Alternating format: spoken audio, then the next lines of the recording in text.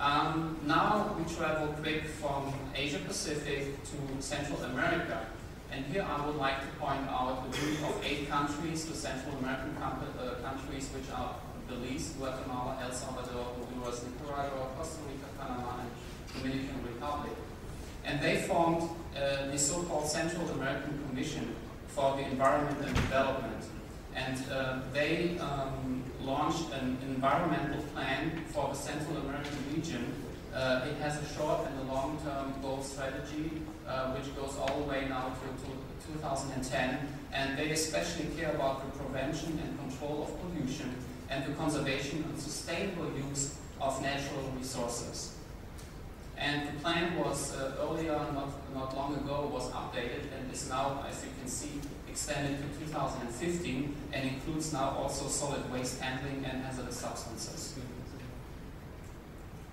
The objectives of the program include create uh, a waste residue inventory for uh, Central America with potential of commercialization in, the Dominican Republic, and also they try to encourage waste residue and byproduct in that industrial transaction to consolidate agreements between the, the different companies.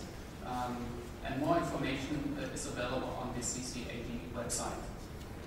This is the website, which is a shared website of all the eight countries. It's very powerful, typical for Central America, but I think it's also uh, available in English, not only in Spanish. Argentina, um, they launched uh, a program, a national program uh, regarding sustainable care and as a member of Mercosur, which is a trading bloc in, in, in South America, they are part of the uh, sub-working group 6, which works currently on chemical control and environmental impact of chemical substances in South America. Leader in this group is Brazil, and Brazil adopted already the Responsible Care Program in 1992, um, presented by ABIQUIM. I don't know if some of you maybe are familiar with ABIQUIM. ABIQUIM is the chemical, or let's say, association of the chemical industry in, in Brazil. It's kind of uh, uh, to, uh, to CEFIC in, in Europe. And they seven codes of practices like process safety, employee health and safety, transport and distribution, environmental protection, uh, dialogue with the community. We heard also about uh, talking to the people and understanding the people, which is a very important part of this program. But they also talked about emergency preparedness and response, and very important also about product stewardship.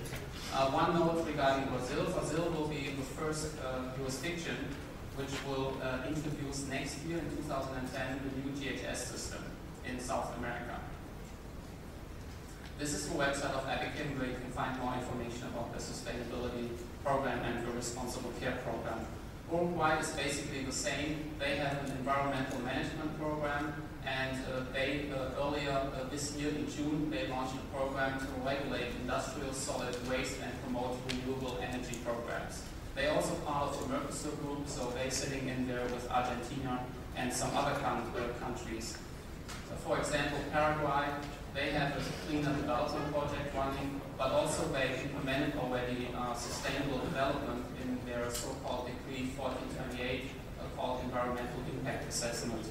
They are also a member of the Mercosur group, also like, uh, like Chile, uh, which has now a, a, management program for chemical safety, and they are also discussing in the subgroup 6 of Mercosur the uh, chemical control and environmental impact of uh, substances in South America, especially in Chile. Peru implemented already the responsible care program, and they are also sitting in this subgroup, so they are discussing together with Argentina and Brazil the environmental impact uh, of waste and chemical substances in South America.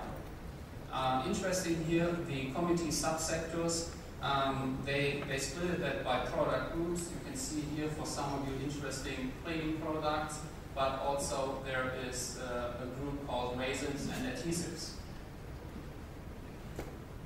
Venezuela has a responsible care program too, but no legislation right now is uh, in place. They just uh, travel all over the country and trying to educate the people and the um, the businesses regarding responsible care and sustainability.